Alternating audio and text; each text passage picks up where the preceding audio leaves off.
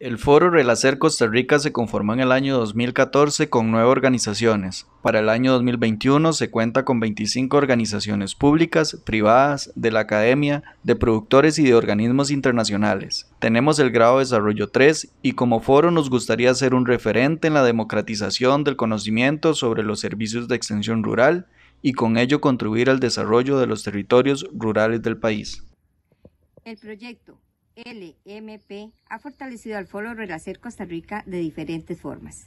En primer lugar, nos ha permitido contar con una secretaría técnica donde hemos conformado la participación de diferentes instancias, tanto públicas, privadas como la academia.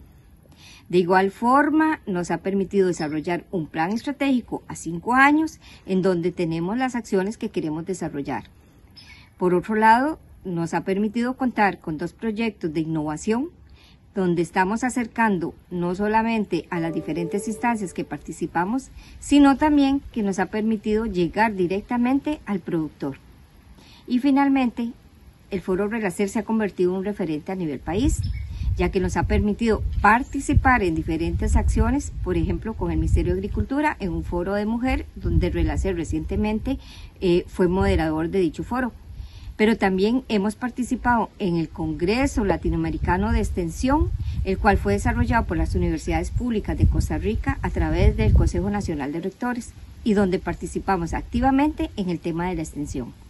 El proyecto del EMPI ha fortalecido a los proveedores de extensión mediante la generación de productos de conocimiento como un curso y un libro de competencias blandas.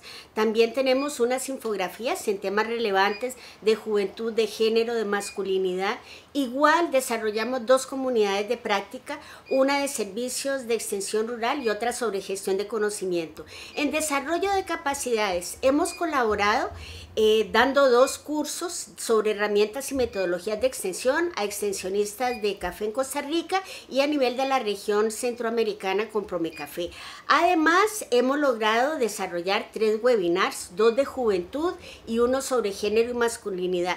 Producto de ello, desde Costa Rica se logró conformar el grupo de juventudes eh, que está siendo liderado por nuestro foro Costa Rica.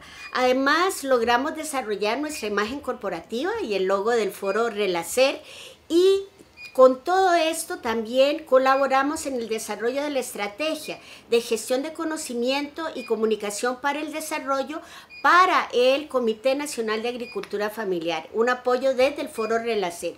Con todo ello hemos logrado durante este año involucrar a más de mil extensionistas que han impactado a su vez a 20 mil productores. El Foro Relacer está actualmente trabajando en dos proyectos, uno titulado El uso de las TIC aplicadas a los servicios ATER, una experiencia en la región Huetar Norte de Costa Rica.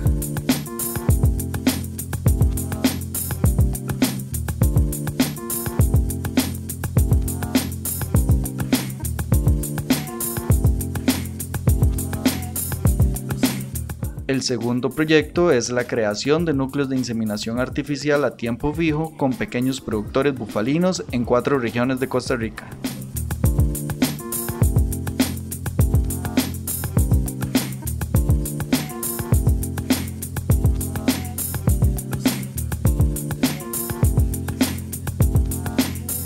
Queremos consolidar un observatorio de servicios de extensión que se ha conversado en los últimos años y que ahora toma fuerza. Además, queremos involucrar a más miembros del foro, particularmente organizaciones de productores, tal como este año lo ha hecho el Centro Agrícola Cantonal de San Carlos. Queremos fortalecer los procesos de incidencia política de tal manera que eh, podamos trascender los diferentes periodos de los gobiernos de turno y por último, queremos hacer una robusta comunicación interna y externa en búsqueda de la sostenibilidad del foro.